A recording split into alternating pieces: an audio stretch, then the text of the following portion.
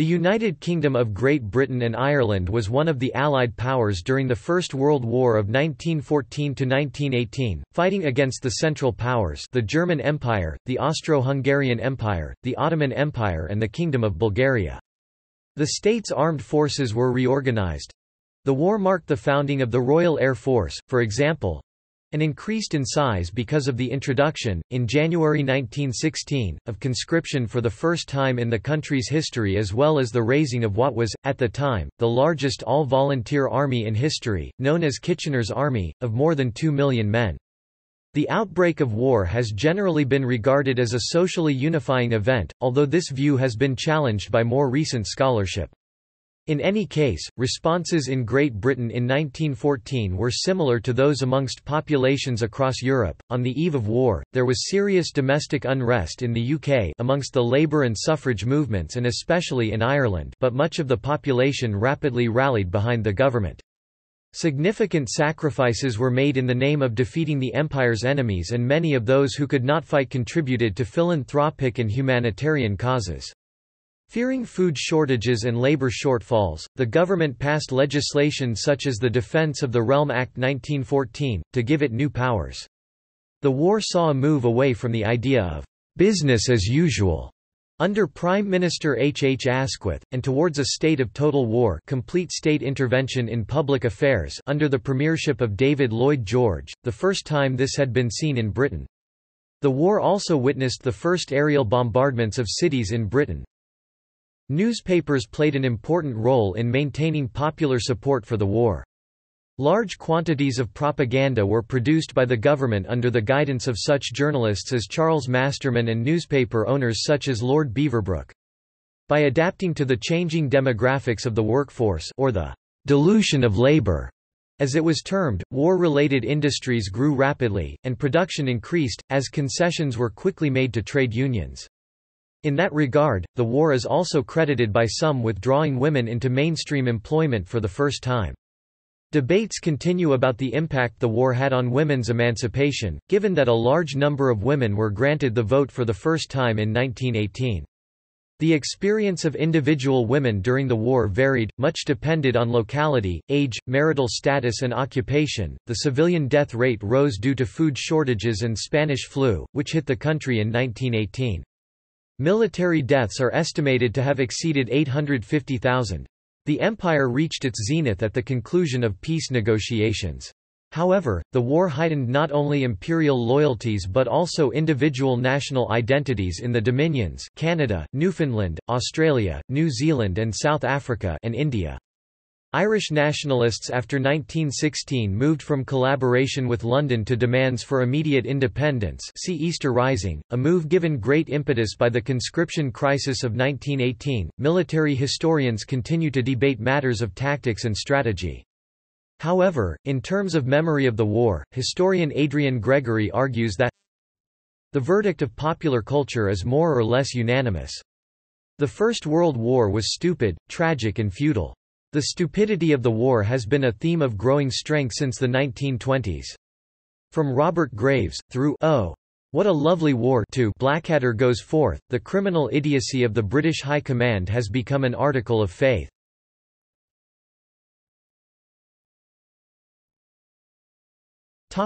Government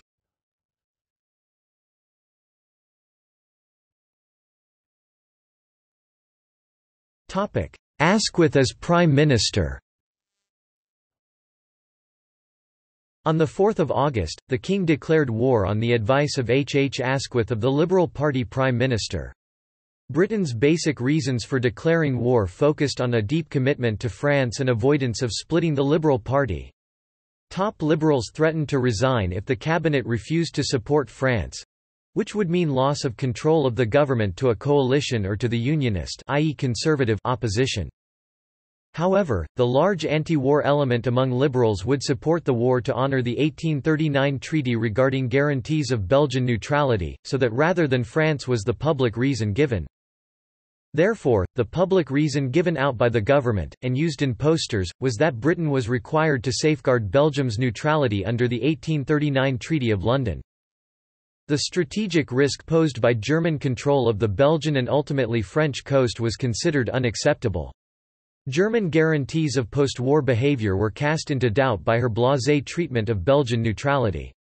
However, the Treaty of London had not committed Britain on her own to safeguard Belgium's neutrality.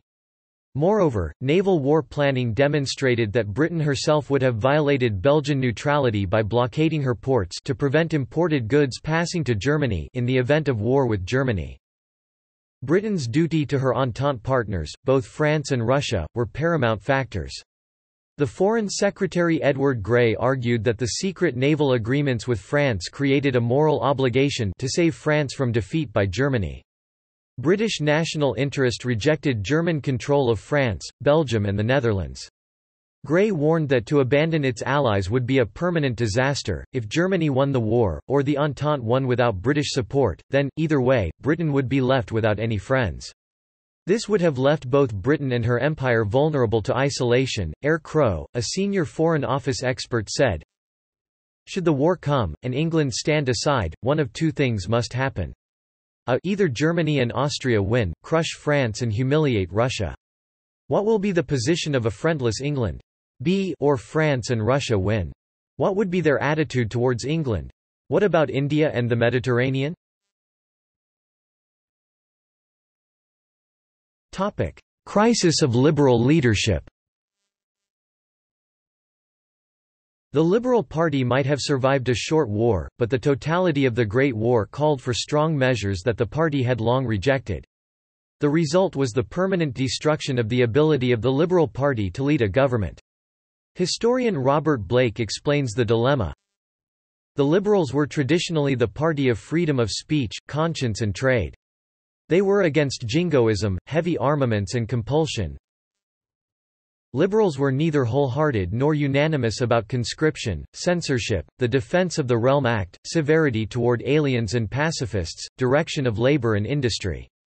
The Conservatives, had no such misgivings. Blake further notes that it was the Liberals, not the Conservatives who needed the moral outrage of Belgium to justify going to war, while the Conservatives called for intervention from the start of the crisis on the grounds of realpolitik and the balance of power. The British people were disappointed that there was no quick victory in the war. They long had taken great pride and expense in the Royal Navy, but now there was little to cheer about. The Battle of Jutland in May 1916, was the first and only time the German fleet challenged control of the North Sea, but it was overmatched and was reassigned mostly to helping the more important U-boats. Since the Liberals ran the war without consulting the Unionists conservatives, there were heavy partisan attacks. However even Liberal commentators were dismayed by the lack of energy at the top. At the time public opinion was intensely hostile, both in the media and in the street, against any young man in civilian garb and labelled as a slacker. The leading liberal newspaper, the Manchester Guardian complained, The fact that the government has not dared to challenge the nation to rise above itself, is one among many signs. The war is, in fact, not being taken seriously. How can any slacker be blamed when the government itself is slack? Asquith's Liberal government was brought down in May 1915, due in particular to a crisis in inadequate artillery shell production and the protest resignation of Admiral Fisher over the disastrous Gallipoli campaign against Turkey. Reluctant to face doom in an election, Asquith formed a new coalition government on 25 May, with the majority of the new cabinet coming from his own Liberal Party and the Unionist Conservative Party, along with a token Labour representation. The new government lasted a year and a half, and was the last time Liberals controlled the government. The analysis of historian A. J. P. Taylor is that the British people were so deeply divided over numerous issues, but on all sides there was growing distrust for the Asquith government. There was no agreement whatsoever on wartime issues. The leaders of the two parties realised that embittered debates in Parliament would further undermine popular morale, and so the House of Commons did not once discuss the war before May 1915. Taylor argues, the Unionists, by and large, regarded Germany as a dangerous rival, and rejoiced at the chance to destroy her. They meant to fight a hard-headed war by ruthless methods, the condemned liberal softness before the war and now. The Liberals insisted on remaining high-minded. Many of them income to support the war only when the Germans invaded Belgium. Entering the war for idealistic motives, the liberals wished to fight it by noble means and found it harder to abandon their principles than to endure your defeat in the field.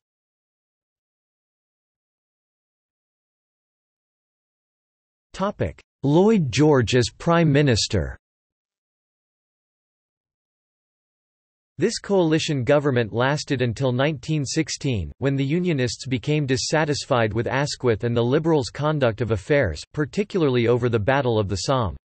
Asquith's opponents now took control, led by Bonar Law leader of the Conservatives, Sir Edward Carson leader of the Ulster Unionists, and David Lloyd George then a minister in the cabinet.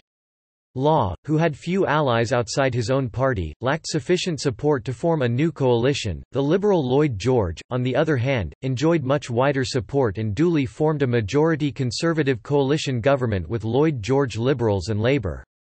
Asquith was still the party head but he and his followers moved to the opposition benches in Parliament. Lloyd George immediately set about transforming the British war effort, taking firm control of both military and domestic policy. In the first 235 days of its existence, the War Cabinet met 200 times. Its creation marked the transition to a state of total war the idea that every man, woman and child should play his or her part in the war effort. Moreover, it was decided that members of the government should be the men who controlled the war effort, primarily utilizing the power they had been given under the Defence of the Realm Act. For the first time, the government could react quickly, without endless bureaucracy to tie it down, and with up-to-date statistics on such matters as the state of the merchant navy and farm production. The policy marked a distinct shift away from Asquith's initial policy of laissez-faire, which had been characterized by Winston Churchill's declaration of "'business as usual' in November 1914. The success of Lloyd George's government can also be attributed to a general lack of desire for an election, and the practical absence of dissent that this brought about. In rapid succession in spring 1918 came a series of military and political crises. The Germans, having moved troops from the Eastern Front and retrained them in new tactics, now had more soldiers on the Western Front than the Allies. On 21 March 1918 Germany launched a full-scale spring offensive against the British and French lines, hoping for victory on the battlefield before United States troops arrived in large numbers. The Allied armies fell back 40 miles in confusion, and facing defeat London realised it needed more troops to fight a mobile war. Lloyd George found half a million soldiers and rushed them to France, asked American President Woodrow Wilson for immediate help, and agreed to the appointment of the French Marshal Foch as commander-in-chief on the Western Front, so that Allied forces could be coordinated to handle the German offensive. Despite strong warnings that it was a bad idea, the War Cabinet decided to impose conscription on Ireland in 1918. The main reason was that Labour in Britain demanded it as the price for cutting back on exemptions for certain workers. Labour wanted the principle established that no one was exempt, but it did not demand that conscription should actually take place in Ireland. The proposal was enacted, but never enforced. The Roman Catholic bishops for the first time entered the fray, calling for open resistance to compulsory military service, while the majority of Irish nationalists moved to supporting the intransigent Sinn Féin movement away from the constitutional Irish National Party. This proved a decisive moment, marking the end of Irish willingness to stay inside the Union. On 7 May 1918, a senior army officer on active duty, Major General Sir Frederick Maurice, prompted a second crisis when he went public with allegations that Lloyd George had lied to Parliament on military matters. Asquith, the Liberal leader in the House, took up the allegations and attacked Lloyd George also a Liberal. While Asquith's presentation was poor, Lloyd George vigorously defended his position, treating the debate as a vote of confidence. He won over the House with a powerful refutation of Maurice's allegations. The main results were to strengthen Lloyd George, weaken Asquith, end public criticism of overall strategy, and strengthen civilian control of the military. Meanwhile, the German offensive stalled and was ultimately reversed. Victory came on the 11th of November 1918. Historian George H. Cassar has evaluated Lloyd George's legacy as a war leader. After all that has been said and done, what are we to make of Lloyd George's legacy as a war leader? On the home front he achieved varied results in tackling difficult, and in some instances, unprecedented problems. It would be hard to have improved on his dealings with labor and the program to increase homegrown food, but in the sectors of manpower, price control and food distribution he adopted the same approach as his predecessor, taking action only in response to the changing nature of the conflict. In the vital area of national morale, while he did not have the technical advantages of Churchill, his personal conduct damaged his ability to do more to inspire the nation. All things considered, it is unlikely that any of his political contemporaries could have handled matters at home as effectively as he did, although it can be argued that if someone else had been in charge, the difference would not have been sufficient to change the final outcome. In his conduct of the war he did advance the cause of the Entente significantly in some ways, but in determining strategy, one of the most important tasks for which a prime minister must be responsible, he was undeniably a failure. To sum up, while Lloyd George's contributions outweighed his mistakes, the margin is too narrow, in my opinion, to include him in the pantheon of Britain's outstanding war leaders.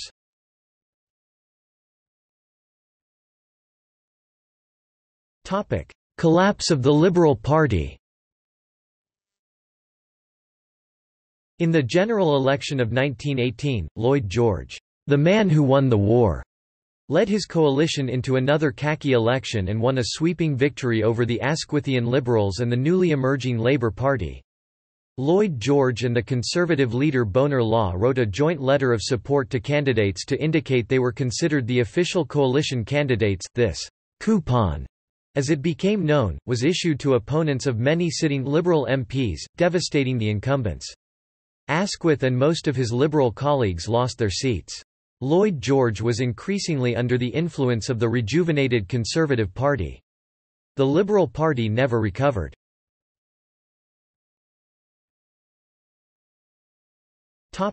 Finance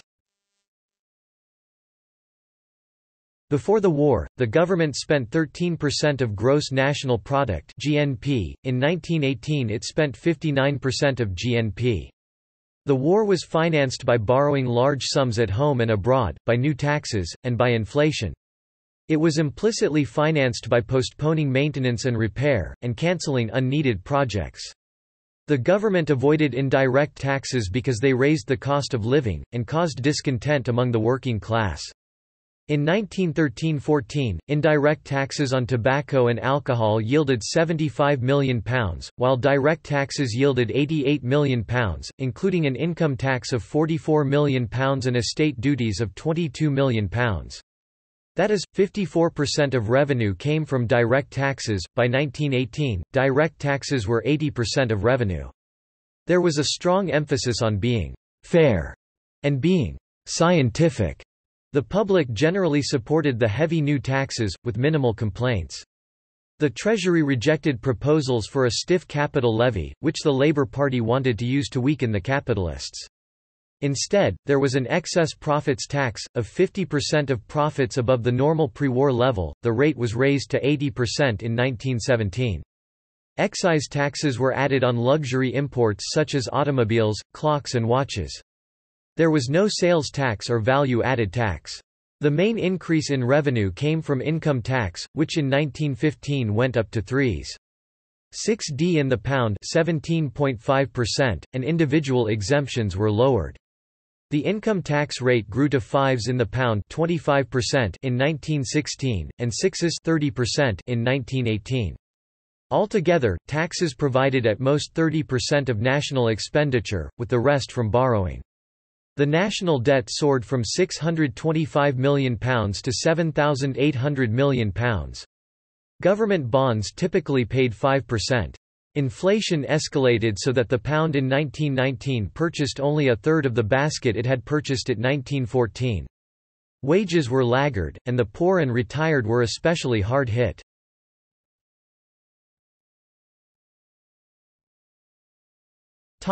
Monarchy The British royal family faced a serious problem during the First World War because of its blood ties to the ruling family of Germany, Britain's prime adversary in the war. Before the war, the British royal family had been known as the House of Saxe-Coburg and Gotha. In 1910, George V became king on the death of his father, King Edward VII, and remained king throughout the war. He was the first cousin of the German Kaiser Wilhelm II, who came to symbolize all the horrors of the war. Queen Mary, although British like her mother, was the daughter of the Duke of Teck, a descendant of the German royal house of Württemberg. During the war H. G. Wells wrote about Britain's alien and uninspiring court, and George famously replied, I may be uninspiring, but I'll be damned if I'm alien. On 17 July 1917, to appease British nationalist feelings, King George issued an order in council that changed the name of the British royal family to the House of Windsor. He specifically adopted Windsor as the surname for all descendants of Queen Victoria then living in Britain, excluding women who married into other families and their descendants.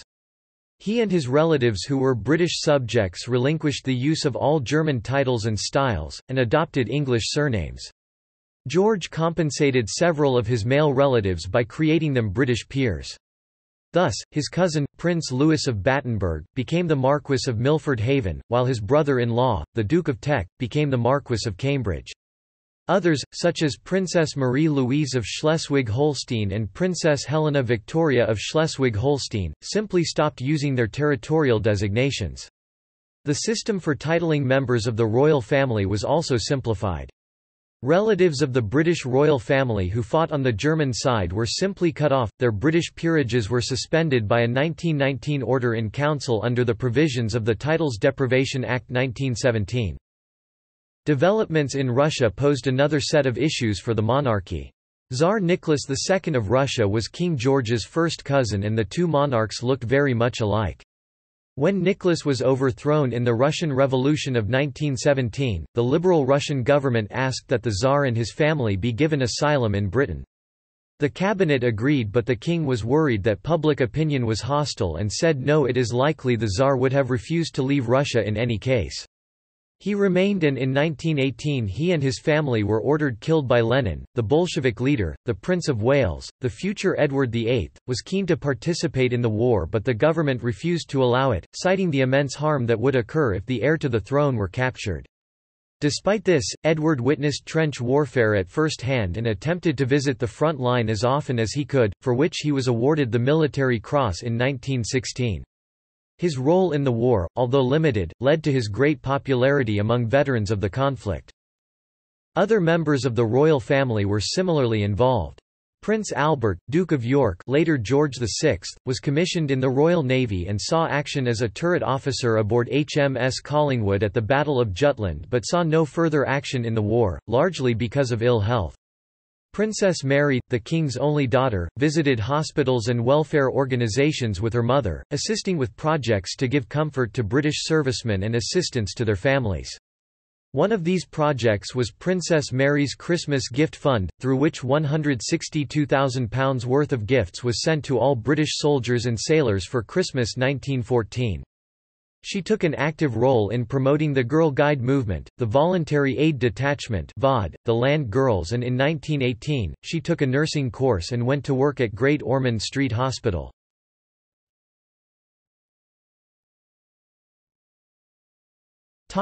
Defense of the Realm Act The first Defense of the Realm Act DORA was passed on 8 August 1914, during the early weeks of the war, though in the next few months its provisions were extended. It gave the government wide-ranging powers, such as the ability to requisition buildings or land needed for the war effort. Some of the things the British public were prohibited from doing included loitering under railway bridges, feeding wild animals and discussing naval and military matters. British summer time was also introduced. Alcoholic beverages were now to be watered down, pub closing times were brought forward from 12.30 am to 10 pm, and, from August 1916, Londoners were no longer able to whistle for a cab between 10 pm and 7 am. It has been criticized for both its strength and its use of the death penalty as a deterrent. Although the act itself did not refer to the death penalty, it made provision for civilians breaking these rules to be tried in army courts martial, where the maximum penalty was death.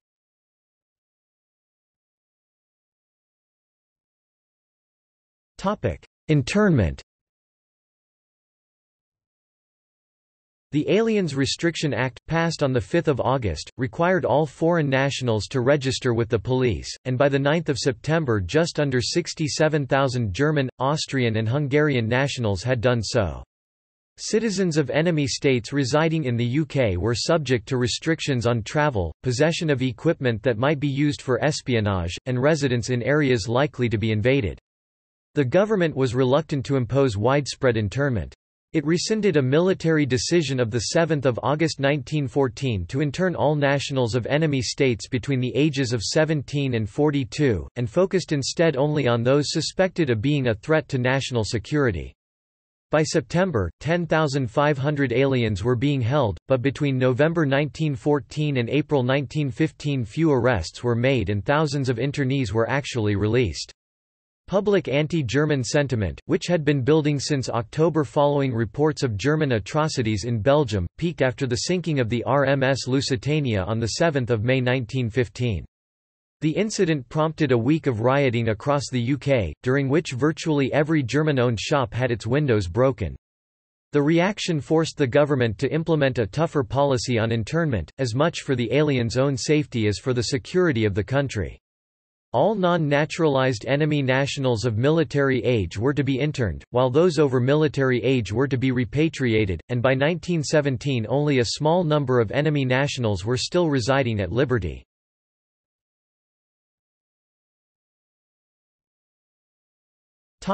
Armed forces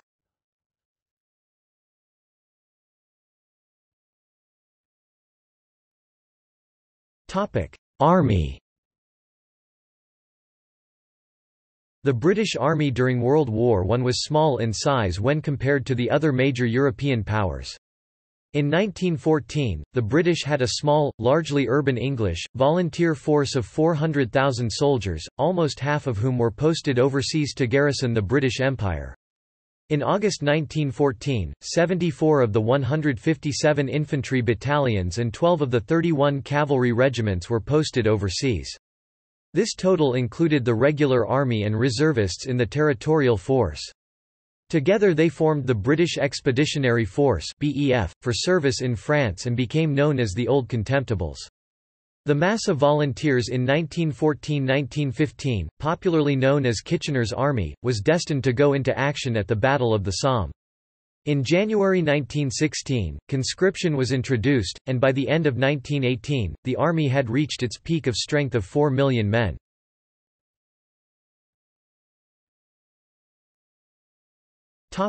Royal Navy The Royal Navy at the start of the war was the largest navy in the world due, for the most part, to the Naval Defence Act 1889 and the two-power standard which called for the Navy to maintain a number of battleships such as their strength was at least equal to the combined strength of the next two largest navies in the world, which at that point were France and Russia. The major part of the Royal Navy's strength was deployed at home in the Grand Fleet, with the primary aim of drawing the German High Seas Fleet into an engagement. No decisive victory ever came. The Royal Navy and the German Imperial Navy did come into contact, notably in the Battle of Heligoland Bight, and at the Battle of Jutland.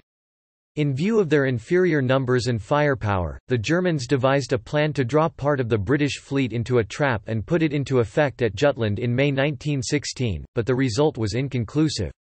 In August 1916, the High Seas Fleet tried a similar enticement operation and was lucky to escape annihilation.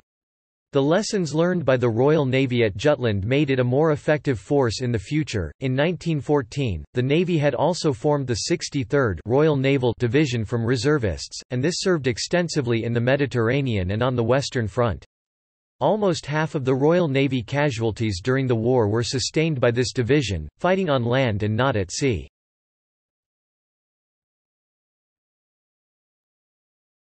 Topic: British Air Services. At the start of the war, the Royal Flying Corps RFC, commanded by David Henderson, was sent to France and was first used for aerial spotting in September 1914, but only became efficient when they perfected the use of wireless communication at Aubers Ridge on 9 May 1915. Aerial photography was attempted during 1914, but again only became effective the next year. In 1915 Hugh Trenchard replaced Henderson and the RFC adopted an aggressive posture. By 1918, photographic images could be taken from 15,000 feet 4,600 meters, and interpreted by over 3,000 personnel. Planes did not carry parachutes until 1918, though they had been available since before the war. On 17 August 1917, General Jan Smuts presented a report to the War Council on the future of air power. Because of its potential for the devastation of enemy lands and the destruction of industrial and populous centers on a vast scale, he recommended a new air service be formed that would be on a level with the Army and Navy. The formation of the new service however would make the underutilized men and machines of the Royal Naval Air Service available for action across the Western Front, as well as ending the inter-service rivalries that at times had adversely affected aircraft procurement. On 1 April 1918, the RFC and the RNAS were amalgamated to form a new service, the Royal Air Force RAF.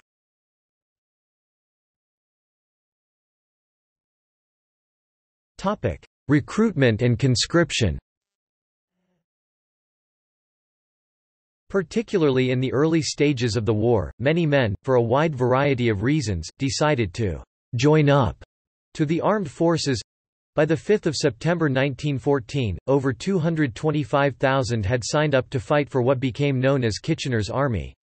Over the course of the war, a number of factors contributed to recruitment rates, including patriotism, the work of the Parliamentary Recruiting Committee in producing posters, dwindling alternative employment opportunities, and an eagerness for adventure to escape humdrum routine. PALS battalions, where whole battalions were raised from a small geographic area or employer, also proved popular. Higher recruitment rates were seen in Wales and Scotland, though in the case of the Welsh and Irish, political tensions tended to put something of a blight upon enlistment. Recruitment remained fairly steady through 1914 and early 1915, but fell dramatically during the later years, especially after the Somme campaign, which resulted in 500,000 casualties. As a result, conscription was introduced for the first time in January 1916 for single men, and extended in May to June to all men aged 18 to 41 across England, Wales and Scotland. By way of the Military Service Acts, urban centres, with their poverty and unemployment were favourite recruiting grounds of the regular British Army.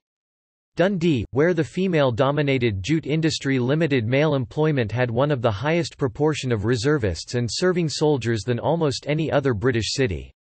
Concern for their family's standard of living made men hesitate to enlist. Voluntary enlistment rates went up after the government guaranteed a weekly stipend for life to the survivors of men who were killed or disabled. After the introduction of conscription from January 1916 every part of the country was affected. The policy of relying on volunteers had sharply reduced the capacity of heavy industry to produce the munitions needed for the war. Historian R. J. Q. Adams reports that 19% of the men in the iron and steel industry entered the Army, 22% of the miners, 20% in the engineering trades, 24% in the electrical industries, 16% among small arms craftsmen, and 24% of the men who had been engaged in making high explosives. In response critical industries were prioritized over the Army. Reserved occupations including munitions, food production and merchant shipping. Topic: Conscription crisis of 1918 In April 1918 legislation was brought forward which allowed for extension of conscription to Ireland. Though this ultimately never materialized, the effect was disastrous. Despite significant numbers volunteering for Irish regiments, the idea of enforced conscription proved unpopular. The reaction was based particularly on the fact that implementation of conscription in Ireland was linked to a pledged measure of self-government in Ireland. The linking of conscription and Home Rule in this way outraged the Irish parties at Westminster, who walked out in protest and returned to Ireland to organise opposition. As a result, a general strike was called, and on 23 April 1918, work was stopped in railways, docks, factories, mills, theatres, cinemas, trams, public services, shipyards, newspapers, shops, and even official munitions factories. The strike was described as complete and entire, an unprecedented event outside the continental countries. Ultimately the effect was a total loss of interest in Home Rule and of popular support for the Nationalist Irish Party who were defeated outright by the separatist Republican Sinn Féin Party in the December 1918 Irish general election, one of the precursors of the Anglo-Irish War.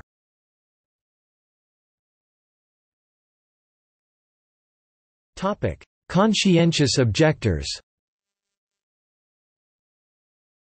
The conscription legislation introduced the right to refuse military service, allowing for conscientious objectors to be absolutely exempted, to perform alternative civilian service, or to serve as a non-combatant in the army, according to the extent to which they could convince a military service tribunal of the quality of their objection. Around 16,500 men were recorded as conscientious objectors, with Quakers playing a large role. 4,500 objectors were sent to work on farms to undertake work of national importance. 7,000 were ordered non-combatant duties as stretcher-bearers, but 6,000 were forced into the army, and when they refused orders, they were sent to prison, as in the case of the Richmond 16.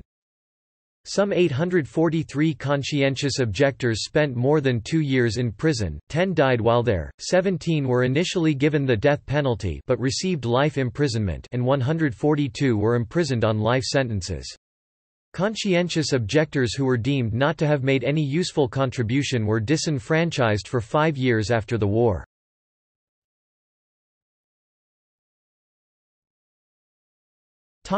Naval and air raids At the start of the First World War, for the first time since the Napoleonic Wars, the population of the British Isles was in danger of attack from naval raids. The country also came under attack from air raids by Zeppelins and fixed-wing aircraft, another first.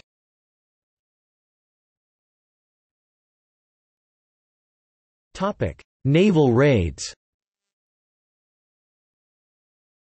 The raid on Yarmouth, which took place in November 1914, was an attack by the German Navy on the British North Sea port and town of Great Yarmouth. Little damage was done to the town itself, since shells only landed on the beach once German ships laying mines offshore were interrupted by British destroyers. One British submarine was sunk by a mine as it attempted to leave harbour and attack the German ships, while one German armoured cruiser was sunk after striking two mines outside its own home port. In December 1914, the German Navy carried out attacks on the British coastal towns of Scarborough, Hartlepool and Whitby. The attack resulted in 137 fatalities and 593 casualties, many of which were civilians. The attack made the German Navy very unpopular with the British public, as an attack against British civilians in their homes. Likewise, the British Royal Navy was criticised for failing to prevent the raid.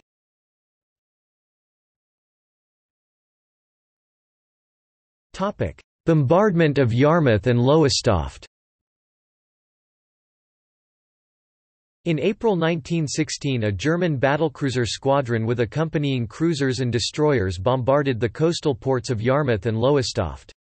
Although the ports had some military importance, the main aim of the raid was to entice out defending ships which could then be picked off either by the battlecruiser squadron or by the full high seas fleet, which was stationed at sea ready to intervene if an opportunity presented itself.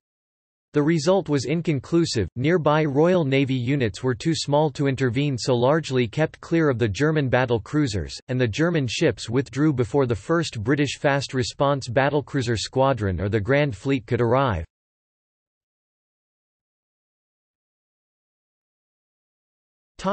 Air raids German Zeppelins bombed towns on the east coast, starting on 19 January 1915 with Great Yarmouth. London was also hit later in the same year, on 31 May. Propaganda supporting the British war effort often used these raids to their advantage. One recruitment poster claimed, It is far better to face the bullets than to be killed at home by a bomb. See image. The reaction from the public, however, was mixed. Whilst 10,000 visited Scarborough to view the damage there, London theatres reported having fewer visitors during periods of Zeppelin weather. Dark, fine nights. Throughout 1917, Germany began to deploy increasing numbers of fixed wing bombers, the Gotha GIV's first target being Folkestone on 25 May 1917. Following this attack, the number of airship raids decreased rapidly in favor of raids by fixed wing aircraft, before Zeppelin raids were called off entirely. In total, Zeppelins dropped 6,000 bombs, resulting in 556 dead and 1,357 wounded. Soon after the raid on Folkestone, the bombers began raids on London. One daylight raid on 13 June 1917 by 14 Gothas caused 162 deaths in the East End of London. In response to this new threat, Major General Edward Bailey Ashmore, a RFC pilot who later commanded an artillery division in Belgium, was appointed to devise an improved system of detection, communication and control. The system, called the Metropolitan Observation Service, encompassed the London Air Defence Area and would later extend eastwards towards the Kentish and Essex coasts. The Metropolitan Observation Service was fully operational until the late summer of 1918 the last German bombing raid taking place on 19 May 1918. During the war, the Germans carried out 51 airship raids and 52 fixed-wing bomber raids on England, which together dropped 280 tons of bombs. The casualties amounted to 1,413 killed, and 3,409 wounded. The success of anti-air defense measures was limited. Of the 397 aircraft that had taken part in raids, only 24 Gothas were shot down, though 37 more were lost in accidents, despite an estimated rate of 14,540 anti-air rounds per aircraft. Anti-Zeppelin defenses were more successful, with 17 shot down and 21 lost in accidents.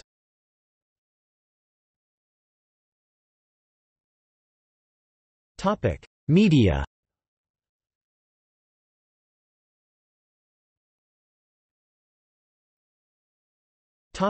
Propaganda Propaganda and censorship were closely linked during the war. The need to maintain morale and counter German propaganda was recognized early in the war and the War Propaganda Bureau was established under the leadership of Charles Masterman in September 1914. The Bureau enlisted eminent writers such as H. G. Wells, Arthur Conan Doyle, Rudyard Kipling as well as newspaper editors. Until its abolition in 1917, the department published 300 books and pamphlets in 21 languages, distributed over 4,000 propaganda photographs every week, and circulated maps, cartoons, and lantern slides to the media.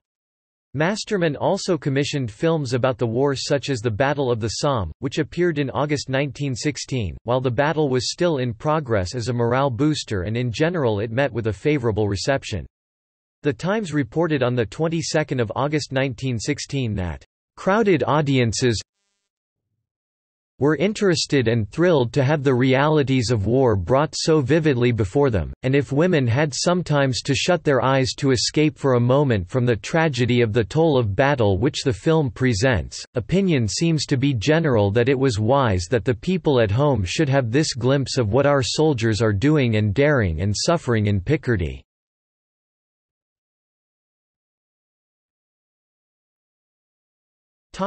Newspapers Newspapers during the war were subject to the Defense of the Realm Act, which eventually had two regulations restricting what they could publish, Regulation 18, which prohibited the leakage of sensitive military information, troop and shipping movements, and Regulation 27, which made it an offense to spread false reports, spread reports that were likely to prejudice recruiting, undermine public confidence in banks or currency, or cause disaffection to His Majesty. Where the official press bureau failed it had no statutory powers until April 1916, the newspaper editors and owners operated a ruthless self-censorship. Having worked for government, press barons Viscount Rothermere, Baron Beaverbrook in A Sea of Controversy, and Viscount Northcliffe all received titles. For these reasons, it has been concluded that censorship, which at its height suppressed only socialist journals and briefly the right-wing The Globe had less effect on the British press than the reductions in advertising revenues and cost increases which they also faced during the war. One major loophole in the official censorship lay with parliamentary privilege, when anything said in Parliament could be reported freely. The most infamous act of censorship in the early days of the war was the sinking of HMS Audacious in October 1914, when the press was directed not to report on the loss, despite the sinking being observed by passengers on the liner RMS Olympic and quickly reported in the American press. The most popular papers of the period included dailies such as The Times, The Daily Telegraph, and The Morning Post, weekly newspapers such as The Graphic, and periodicals like John Bull, which claimed a weekly circulation of 9 900,000. The public demand for news of the war was reflected in the increased sales of newspapers. After the German Navy raid on Hartlepool and Scarborough, the Daily Mail devoted three full pages to the raid and the Evening News reported that the Times had sold out by a quarter past nine in the morning, even with inflated prices. The Daily Mail itself increased in circulation from 800,000 a day in 1914 to 1.5 million by 1916.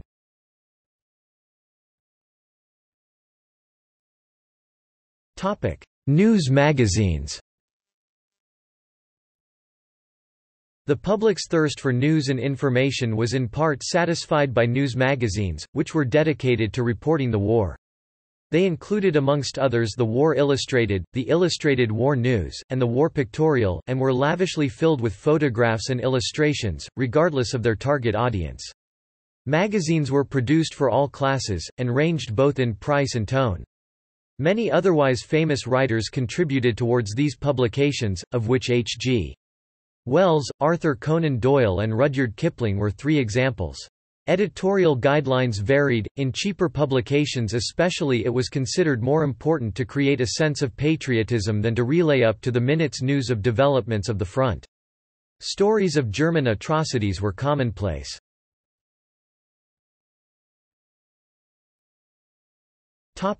Music On 13 August 1914, the Irish regiment the Connaught Rangers were witnessed singing, "'It's a Long Way to Tipperary' as they marched through Boulogne by the Daily Mail correspondent George Curnock, who reported the event in that newspaper on 18 August 1914. The song was then picked up by other units of the British Army. In November 1914, it was sung in a pantomime by the well-known music hall singer Florrie Forde, which helped contribute to its worldwide popularity. Another song from 1916, which became very popular as a music hall and marching song, boosting British morale despite the horrors of that war, was, "'Pack up your troubles in your old kit bag'".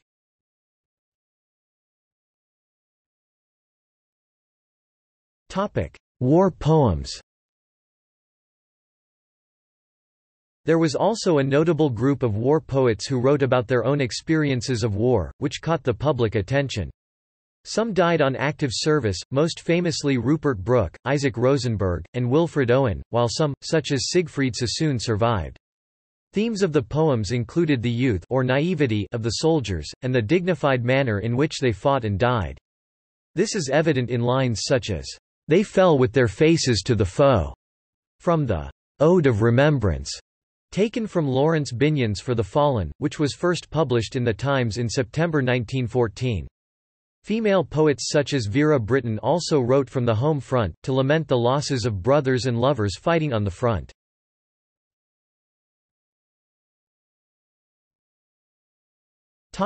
Economy On the whole the British successfully managed the economics of the war. There had been no pre-war plan for mobilization of economic resources. Controls were imposed slowly, as one urgent need followed another. With the City of London the world's financial capital, it was possible to handle finances smoothly. In all Britain spent £4 million every day on the war effort. The economy in terms of GDP grew about 14% from 1914 to 1918 despite the absence of so many men in the services. By contrast, the German economy shrank 27%. The war saw a decline of civilian consumption, with a major reallocation to munitions. The government share of GDP soared from 8% in 1913 to 38% in 1918 compared to 50% in 1943. The war forced Britain to use up its financial reserves and borrow large sums from private and government creditors in the United States. Shipments of American raw materials and food allowed Britain to feed itself and its army while maintaining his productivity. The financing was generally successful, as the city's strong financial position minimized the damaging effects of inflation, as opposed to much worse conditions in Germany. Overall consumer consumption declined 18% from 1914 to 1919. Women were available and many entered munitions factories and took other home front jobs vacated by men. Scotland specialised in providing manpower, ships, machinery, food particularly fish and money. Its shipbuilding industry expanding by a third.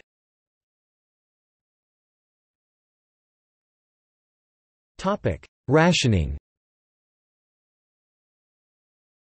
In line with its business as usual policy, the government was initially reluctant to try to control the food markets. It fought off efforts to try to introduce minimum prices in cereal production, though relenting in the area of controlling of essential imports sugar, meat and grains. When it did introduce changes, they were only limited in their effect. In 1916, it became illegal to consume more than two courses whilst lunching in a public eating place or more than three for dinner. Fines were introduced for members of the public found feeding the pigeons or stray animals. In January 1917, Germany started using U-boats submarines in order to sink Allied and later neutral ships bringing food to the country in an attempt to starve Britain into surrender under their unrestricted submarine warfare program. One response to this threat was to introduce voluntary rationing in February 1917, a scheme said to have been endorsed by the King and Queen themselves. Bread was subsidized from September that year, prompted by local authorities taking matters into their own hands. Compulsory rationing was introduced in stages between December 1917 and February 1918, as Britain's supply of wheat stores decreased to just six weeks' worth. It is said to have in the most part benefited the health of the country, through the leveling of consumption of essential foodstuffs. To assist with rationing, ration books were introduced on 15 July 1918 for butter, margarine, lard, meat, and sugar. During the war, average calorific intake decreased only 3%, but protein intake 6%.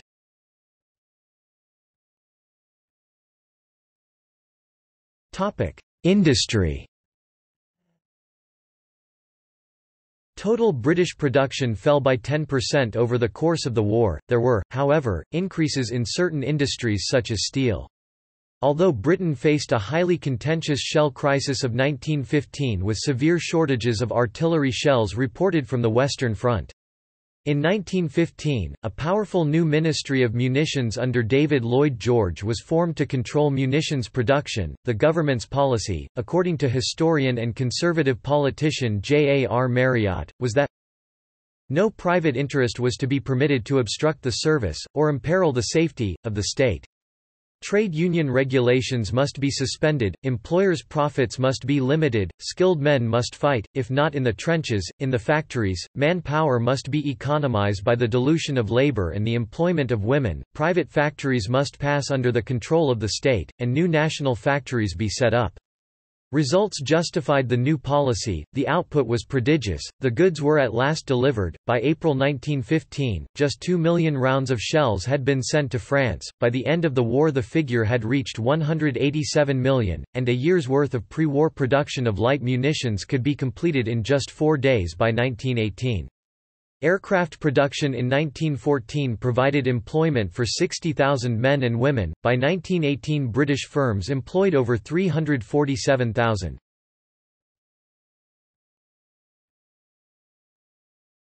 Topic: Labor. Industrial production of munitions was a central feature of the war, and with a third of the men in the labor force moved into the military, demand was very high for industrial labor. Large numbers of women were employed temporarily. Most trade unions gave strong support to the war effort, cutting back on strikes and restrictive practices. However the coal miners and engineers were less enthusiastic.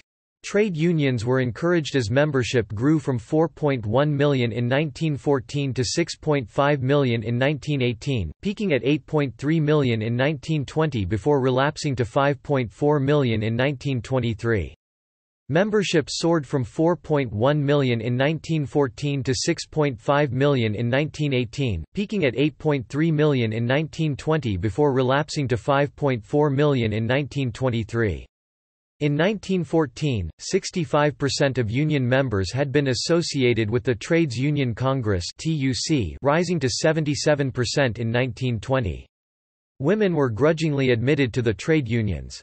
Looking at a union of unskilled workers, Cathy Hunt concludes its regard for women workers was at best inconsistent and at worst aimed almost entirely at improving and protecting working conditions for its male members. Labour's prestige had never been higher, and it systematically placed its leaders into Parliament. The Munitions of War Act 1915 followed the shell crisis of 1915 when supplies of material to the front became a political issue. The act forbade strikes and lockouts and replaced them with compulsory arbitration. It set up a system of controlling war industries, and established munitions tribunals that were special courts to enforce good working practices. It suspended, for the duration, restrictive practices by trade unions. It tried to control labor mobility between jobs.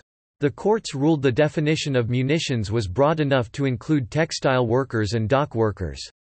The 1915 Act was repealed in 1919, but similar legislation took effect during the Second World War. It was only as late as December 1917 that a War Cabinet Committee on Manpower was established, and the British government refrained from introducing compulsory labour direction, though 388 men were moved as part of the Voluntary National Service Scheme. Belgian refugees became workers, though they were often seen as job stealers. Likewise, the use of Irish workers, because they were exempt from conscription, was another source of resentment. Worried about the impact of the dilution of labor caused by bringing external groups into the main labor pool, workers in some areas turned to strike action. The efficiency of major industries improved markedly during the war. For example, the Singer Clydebank sewing machine factory received over 5,000 government contracts, and made 303 million artillery shells, shell components, fuses, and airplane parts, as well as grenades, rifle parts, and 361,000 horseshoes. Its labor force of 14,000 was about 70% female at war's end.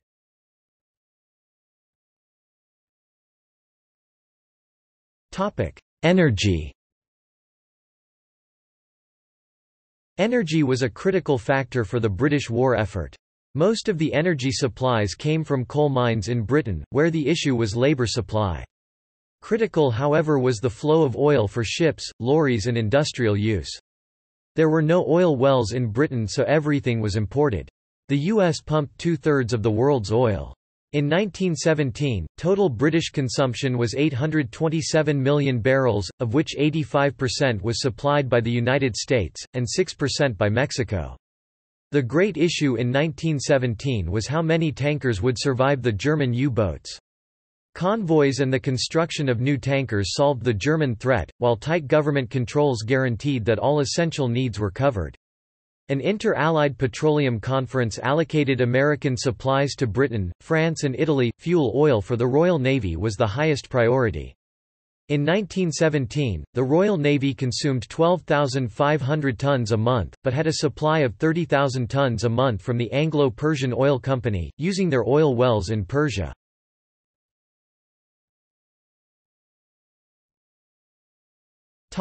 Social change Variously throughout the war, serious shortage of able-bodied men manpower occurred in the country, and women were required to take on many of the traditional male roles, particularly in the area of arms manufacture, though this was only significant in the later years of the war, since unemployed men were often prioritized by employers. Women both found work in the munitions factories as munitionettes Despite initial trade union opposition, which directly helped the war effort, but also in the civil service, where they took men's jobs, releasing them for the front. The number of women employed by the service increased from 33,000 in 1911 to over 102,000 by 1921. The overall increase in female employment is estimated at 1.4 million, from 5.9 to 7.3 million, and female trade union membership increased from 357,000 in 1914 to over a million by 1918—an increase of 160%. Beckett suggests that most of these were working-class women going into work at a younger age than they would otherwise have done, or married women returning to work. This taken together with the fact that only 23% of women in the munitions industry were actually doing men's jobs, would limit substantially the overall impact of the war on the long-term prospects of the working woman. When the government targeted women early in the war focused on extending their existing roles, helping with Belgian refugees, for example—but also on improving recruitment rates amongst men. They did this both through the so-called Order of the White Feather and through the promise of home comforts for the men while they were at the front. In February 1916, groups were set up and a campaign started to get women to help in agriculture and in March 1917, the Women's Land Army was set up. One goal was to attract middle-class women who would act as models for patriotic engagement in non-traditional duties. However the uniform of the Women's Land Army included male overalls and trousers, which sparked debate on the propriety of such cross-dressing. The government responded with rhetoric that explicitly feminized the new roles. In 1918, the Board of Trade estimated that there were 148,000 women in agricultural employment, though a figure of nearly 260,000 has also been suggested. The war also caused a split in the British suffragette movement, with the mainstream, represented by Emmeline Pankhurst and her daughter Christabel's Women's Social and Political Union, calling a ceasefire in their campaign for the duration of the war. In contrast, more radical suffragettes, like the Women's Suffrage Federation run by Emmeline's other daughter, Sylvia, continued their at times violent struggle. Women were also allowed to join the armed forces in a non-combatant role and by the end of the war 80,000 women had joined the armed forces in auxiliary roles such as nursing and cooking. Following the war, millions of returning soldiers were still not entitled to vote.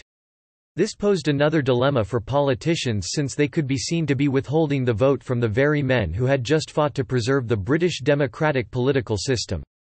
The Representation of the People Act 1918 attempted to solve the problem, enfranchising all adult males as long as they were over 21 years old and were resident householders.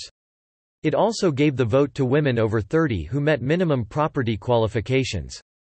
The enfranchisement of this latter group was accepted as recognition of the contribution made by women defence workers, though the actual feelings of members of parliament MPs at the time is questioned.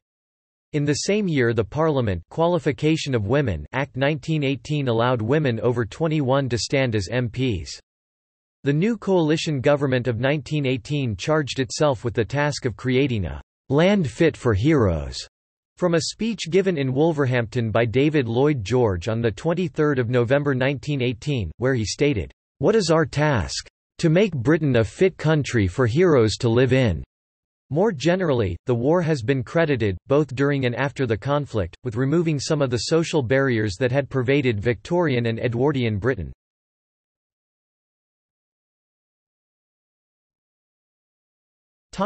Regional conditions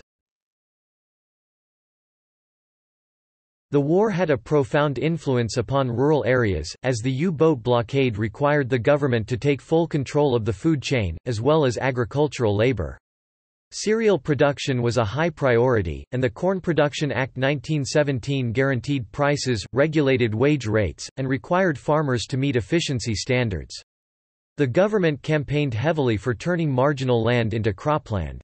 The Women's Land Army brought in 23,000 young women from the towns and cities to milk cows, pick fruit and otherwise replace the men who joined the services. More extensive use of tractors and machinery also replaced farm laborers. However, there was a shortage of both men and horses on the land by late 1915. County War Agricultural Executive Committees reported that the continued removal of men was undercutting food production because of the farmers' belief that operating a farm required a set number of men and horses. Kenneth Morgan argues that the overwhelming mass of the Welsh people cast aside their political and industrial divisions and threw themselves into the war with gusto. Intellectuals and ministers actively promoted the war spirit. With 280,000 men enrolled in the services 14% of the population, the proportionate effort in Wales outstripped both England and Scotland. However Adrian Gregory points out that the Welsh coal miners, while officially supporting the war effort, refused the government request to cut short their vacation time. After some debate, the miners agreed to extend the working day. Scotland's distinctive characteristics have attracted significant attention from scholars. Daniel Coetzee shows it supported the war effort with widespread enthusiasm.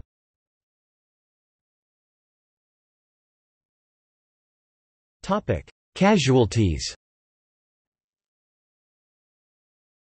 In the post-war publication Statistics of the Military Effort of the British Empire during the Great War 1914–1920 The War Office, March 1922, the official report lists 908,371 soldiers as being either killed in action, dying of wounds, dying as prisoners of war or missing in action in the World War. This is broken down into Britain and its colonies 704,121, British India 64,449, Canada 56,639, Australia 59,330, New Zealand 16,711, South Africa 7,121. Listed separately were the Royal Navy including the Royal Naval Air Service until 31 March 1918 war dead and missing of 32,200 187 and the Merchant Navy war dead of 14,661. The figures for the Royal Flying Corps and the nascent Royal Air Force were not given in the War Office Report. A second publication, Casualties and Medical Statistics, 1931, the final volume of the official medical history of the war, gives British Empire Army losses by cause of death.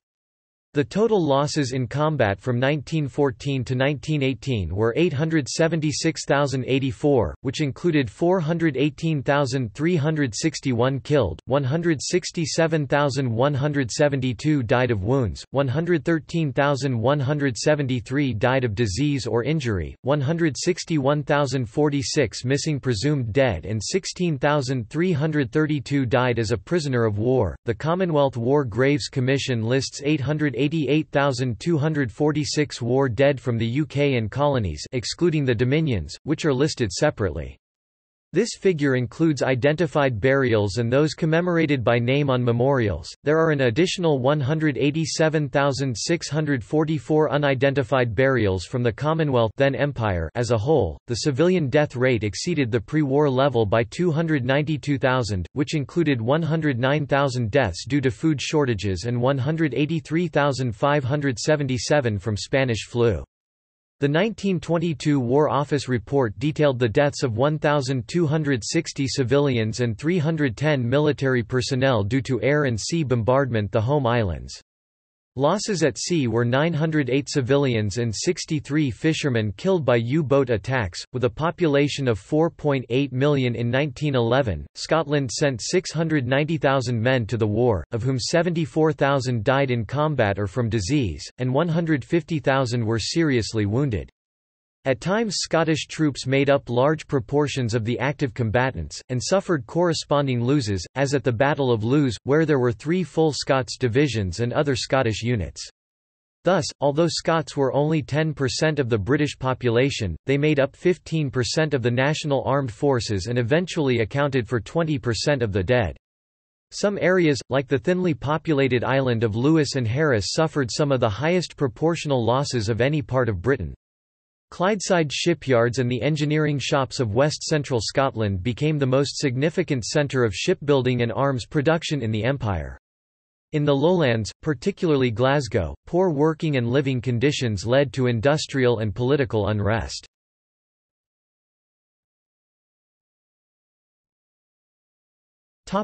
Legacy and memory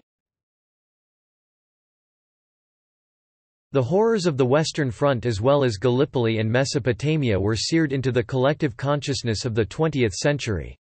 To a large extent the understanding of the war in popular culture focused on the first day of the Battle of the Somme. Historian A. J. P. Taylor argued, "...the Somme set the picture by which future generations saw the First World War, brave helpless soldiers, blundering obstinate generals, nothing achieved." Images of trench warfare became iconic symbols of human suffering and endurance. The post-war world had many veterans who were maimed or damaged by shell shock.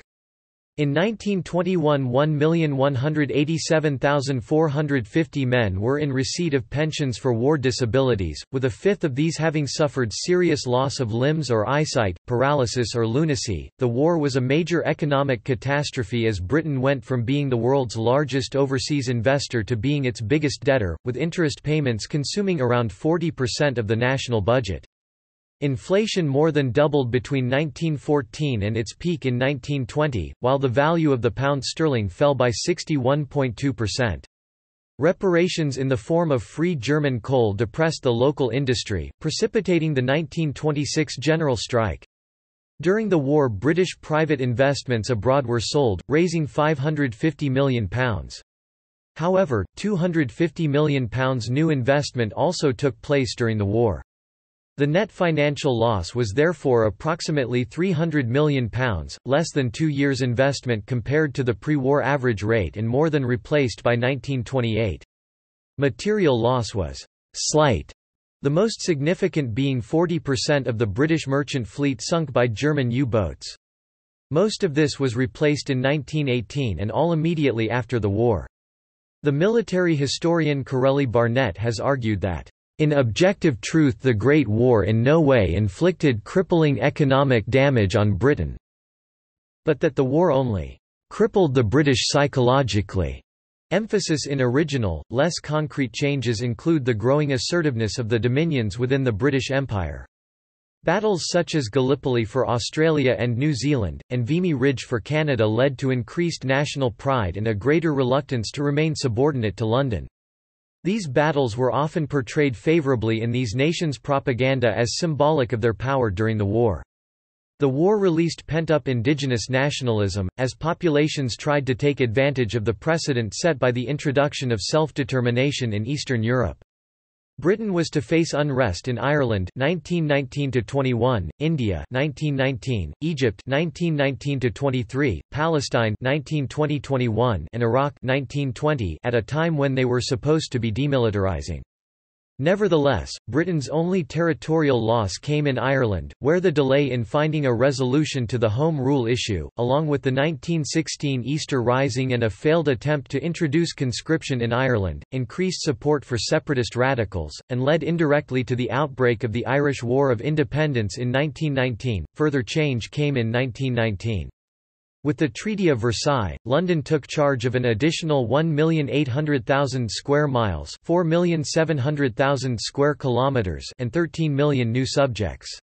The colonies of Germany and the Ottoman Empire were distributed to the Allied powers and to Australia, New Zealand and South Africa as League of Nations mandates, with the United Kingdom at least gaining control of Palestine and Transjordan, Iraq, parts of Cameroon and Togo, and Tanganyika. Indeed, the British Empire reached its territorial peak after the settlement.